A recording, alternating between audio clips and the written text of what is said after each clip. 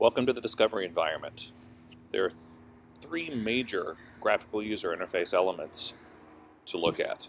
First of all is the data window. This is a window that gives access to the iPlant data store, which is a petascale high-performance data catalog that provides sharing, high-performance data movement, metadata tagging, etc. So here we have my home folder, which we can open, see that I have a fair amount of stuff in here. Community data, these are large shared read-only repositories and shared with me. This is data that's been shared with me using a Google Drive-like interface. Data for this demo will be in your shared with me directory under the demos directory. Analyses are a list of all current, running, and past analyses. We can find out a little bit more about each one, including when it started and stopped, what its ultimate, uh, what its ultimate state was.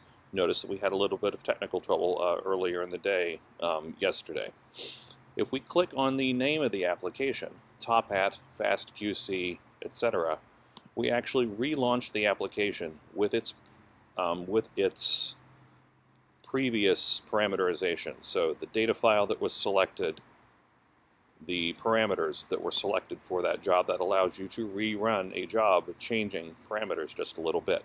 If we click on the name of the job, this takes us to the output from that computational analysis. So here we've got a, uh, some error, uh, some standard error and standard out files, and then inside the top out, out directory, we have BAM files, bed files, and the original um, data associated with the analysis.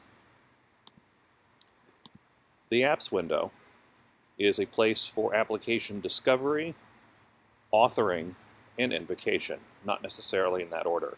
There are two workspaces, a private workspace, where applications that you own are maintained and accessible, and a public space, which currently has 368 applications. These are accessible to everyone.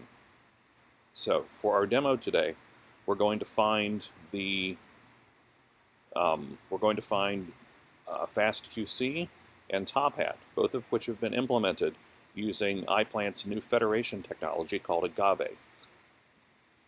These two analyses will run on a Dell HPC Research Computing Solutions system at the Parmer Research Campus in Austin, Texas. So we select our category, we find the application, we browse, in this case, into my demos folder.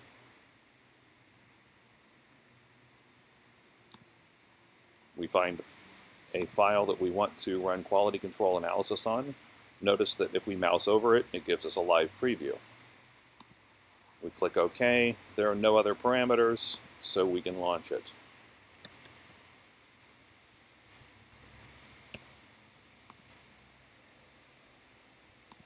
Let's also fire off a Top Hat job.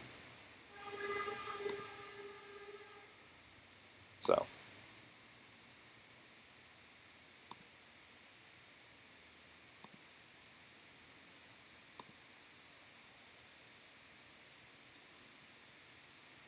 I'm picking a very small file for the interest of expediency.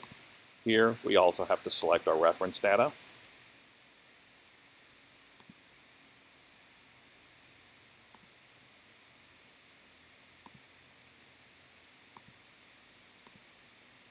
and our annotation data.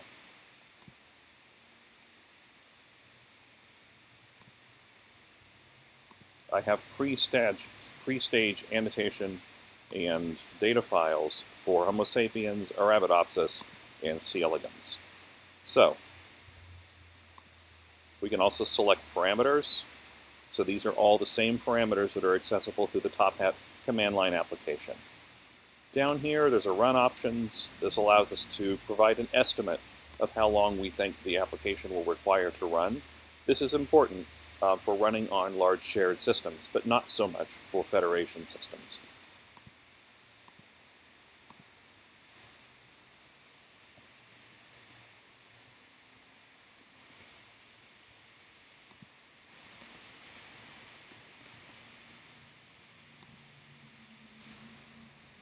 All right, so you notice now we're starting to get some notifications. FastQC is running. Let's go look at the analysis window. The FastQC application is now running.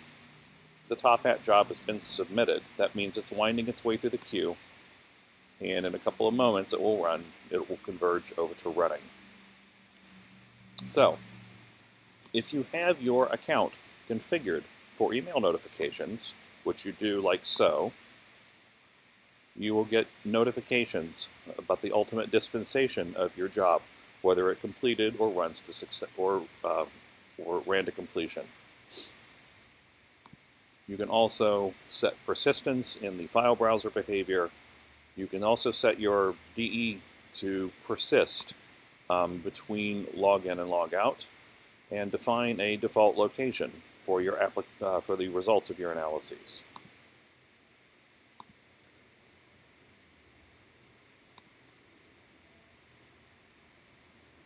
When done, your analyses, in addition to being available through the analysis window, are also available in the analyses directory by default.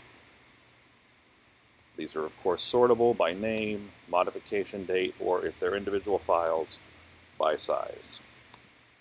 And that concludes our demo.